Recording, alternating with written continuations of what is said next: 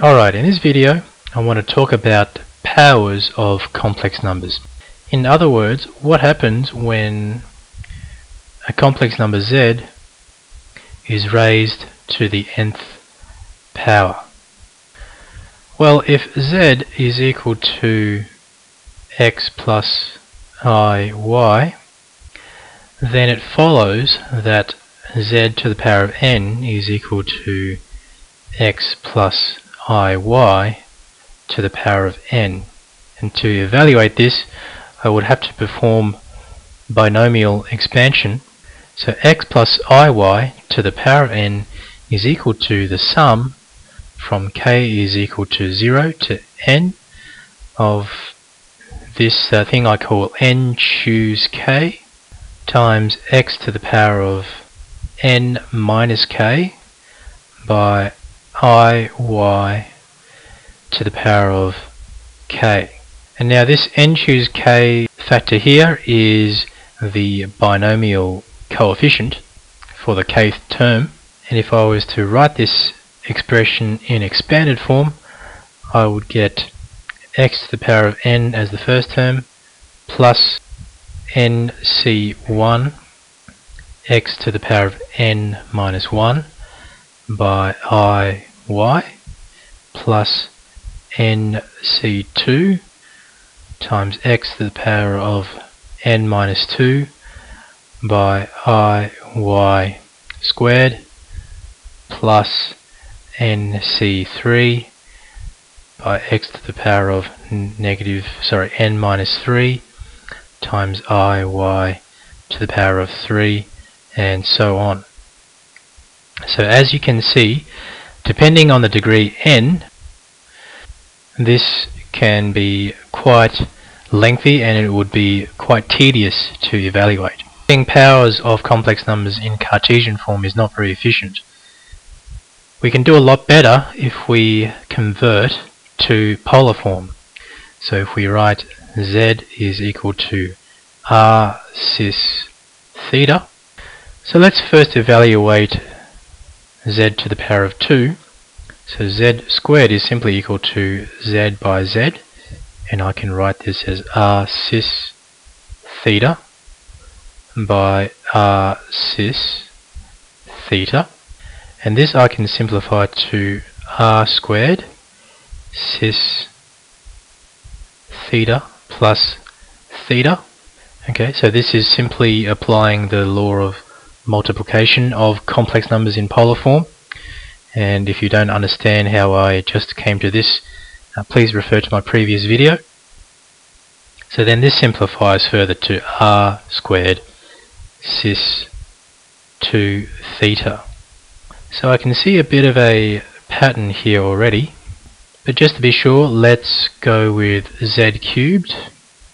So z cubed I can write as z squared by z, which is equal to r squared cis 2 theta by r cis theta.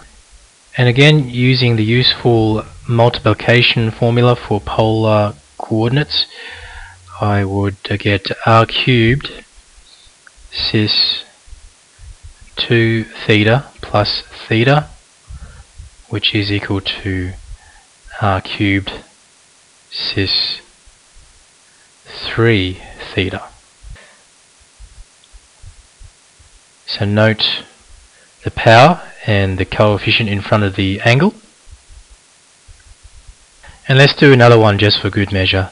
So z to the power of 4, which I can write as z cubed by z, which equals z cubed cis 3 theta by r cis theta, which equals, so the powers multiply to give r to the power of 4, and the angles add, so I get 3 theta plus theta and of course I'll get r to the power of 4 cis 4 theta. So then it follows that z to the power of n would be equal to r to the power of n by cis of n times theta. So this is obviously a lot more easy to convert back to Cartesian form than trying to figure out what all of these come to if we had a predetermined index, or a predefined index I should say. And I'd like to point out that this, this n theta, is what we call de Moivre's formula. Or Moivre's theorem. And Moivre's theorem simply says cis theta to the power of n, which I can also write as cis of n cis of the nth power theta is simply equal to cis of n times theta. Okay, so let's do an example. In a previous video we found that the square root of 3 minus i is equal to 2 cis negative pi on 6 in polar form. So let's find z to the power of 9 and express it in Cartesian form. So according to the formula above, I have 2 to the power of 9 by cis times negative 9 pi on 6. Okay, 2 to the power of 9 evaluates to 512. And if I write this out fully, I get 512 outside of cosine negative 9 pi on 6. And 9 pi on 6 will simplify to negative 3 pi on 2 plus i times sine of negative 3 pi on 2. So all we have to do now is to evaluate this cosine and the sine. And to do that we can use the help of a little unit circle.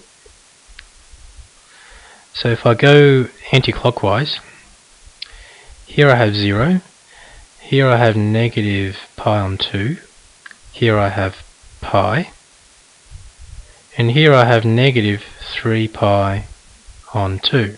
So the cosine of negative 3 pi on 2 is 0 because we're at uh, 90 degrees or we're on the vertical and the sine of negative 3 pi on 2 is equal to 1 because again we're here on the vertical so this evaluates to 0 and this evaluates to 1 which gives us in the end 512 times 0 plus i times 1 and of course that is equal to 512 i.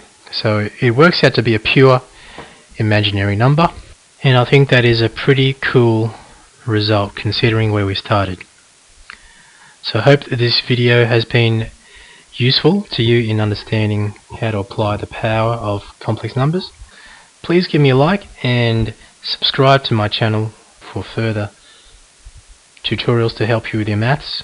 In the meantime, good luck with your studies and I'll see you on the next video.